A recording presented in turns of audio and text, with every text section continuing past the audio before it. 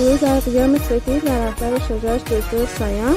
جمعی از سرداران هستیم و پخش اطلاعی میریم جمعه 19 شهریور ماه. زنده باد قیام سفید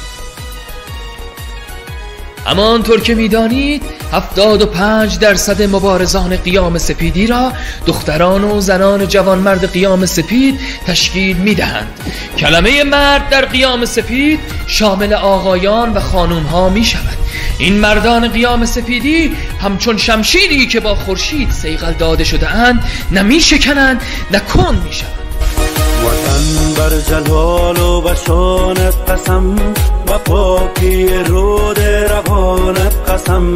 با کوه و بدشت و بدامان تو با مرغ بلند آشیانت قسم دکتر سایان رهبر عزیزم برادر مهربانم دوستان شما ما مردمی ما مادران ایرانی 14 آبان 1400 به فرمان شما به همراه فرزندانمان در میدان انقلاب حاضریم.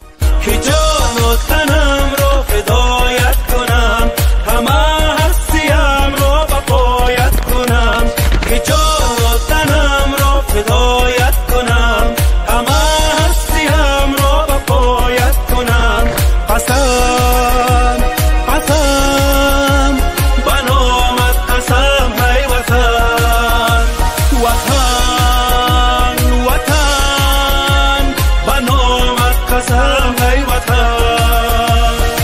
من مردمم. غیر خدا به احدی وصل نیستم و فرزند پدر و مادری مظلوم و با آبرو از جنس شما هستم.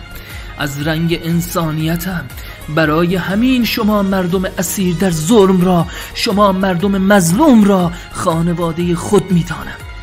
من این خاک و خانه و خانواده ام که شما باشید را به رسانه و حکومتی نفروختم. من به آمریکا و اسرائیل و عربستان و روس و چین و عرب و غیر باج ندادم. به خاطر همین کسی یاریمان نمی کند. یام شبیخون در پایتخت را از کانال ساکاریوها چهارده چهارده بردارید و به دوستانتان آشنایانتان حتی غریبه ها هر روز در گروه ها یا تک تک به اشخاص متفاوت فوروارد کنید.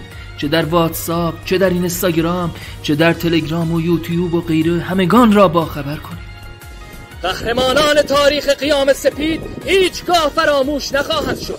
دیدار ما با شرافتان چهارده آبان 1400 در میدان انقلاب تهران و دیگر میادین ایران. منتظرتان هستم. زنده باد ایران و مردم با شهامتش.